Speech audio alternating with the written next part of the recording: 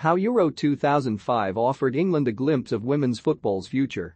It was as if a previously shuttered window had been thrown wide open and, for the first time, Hope Powell's players could glimpse unexpectedly exciting new horizons. Bev Ward, the Football Association executive responsible for that tournament's marketing and communications strategy, recalls the moment well.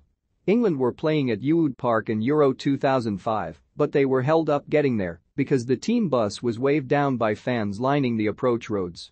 I remember Rachel Unitt, Rachel Yankey and Kelly Smith, leading players, saying it was the very first time they'd seen women and girls wearing replica shirts with their names on the back.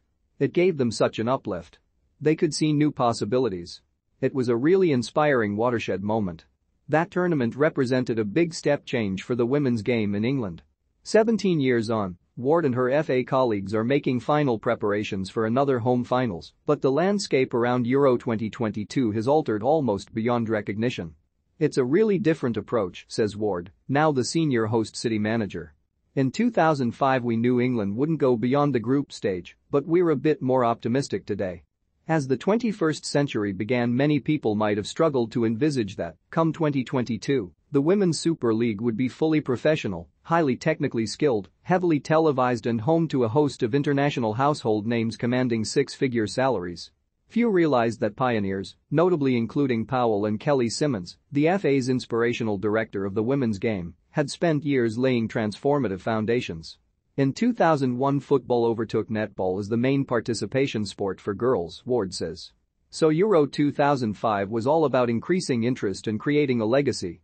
Staged in Blackburn, Blackpool, Manchester, Preston, and Warrington, it featured eight teams, half the number limbering up for the 2022 edition, with England's lowly ranked part-timers finishing bottom of Group A after a 3-2 win against Finland and defeats by Denmark and Sweden. Ward worked overtime to promote the hosts opener with Finland at the City of Manchester Stadium and was rewarded as a crowd of 29,092, a record for an England women match, watched 17-year-old Karen Carney excel before securing victory courtesy of a sublime chip and stoppage time. Everything was built around that first game and the excitement it generated, recalls Ward. It was an incredible attendance. Despite home media coverage largely evaporating as England exited, 21,105 watched Germany beat Norway 3-1 in the final at Ewood Park. By then, Lennart Johansson had put his foot in things. Companies could make use of a sweaty, lovely-looking girl playing in rainy weather, said the former UEFA president, who died in 2019. Would sell. Ward size? We'd hoped for a bit more respect. Whereas, nowadays, Johansson's comments would have prompted a social media furor stretching from his native Sweden to southern Africa, in 2005, outrage proved limited. Today's complaints generally revolve around the location and size of certain venues. Between the opening game involving England and Austria at Old Trafford and the Wembley final, matches take place on the south coast, Brighton and Southampton, London and the southeast, Brentford and Milton Keynes, South Yorkshire, Sheffield's Bramall Lane and Rotherham, and, most controversially, Greater Manchester, Leigh Sports Village and Manchester City's Academy Stadium.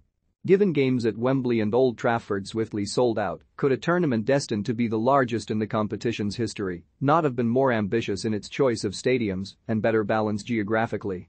With well over 400,000 tickets sold and more than 96,000 supporters from 95 countries traveling to England, has the FA missed an open goal?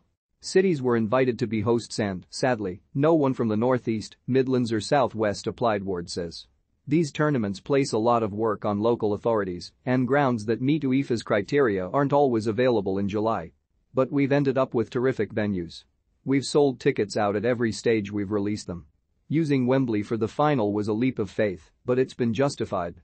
Significantly, when stadiums for a tournament delayed a year by COVID were selected in 2018, organizers feared a lack of enthusiasm for fixtures not involving England. By the time the 2019 World Cup in France had altered such perceptions, it was too late to secure high-end, high-volume grounds, such as Newcastle's 52,000-capacity St James Park and Sunderland's 49,000-capacity Stadium of Light. Ward defends the decision to deploy both Manchester City Women's Academy Stadium, which will allow just 4,700 fans in, and their Manchester United counterparts only slightly larger base at Leigh Sports Village. We wanted full houses she says. And we also wanted to create a legacy fanbase by promoting WSL grounds. A host of 8 p.m. kickoffs will fill prime broadcast slots, with television audiences driving the income and interest essential to the game's enduring development. UEFA want as many eyeballs on this tournament as possible it's being broadcast across the world says Ward, who is well aware that, outside London, a great deal of public transport has shut down by the time final whistles are blown. We've worked hard with local communities to organize special services and ensure people can get home. As the original 2021 date approached and lockdowns beckoned, fears grew that the action would retreat behind closed doors. Postponing was the right decision says Ward.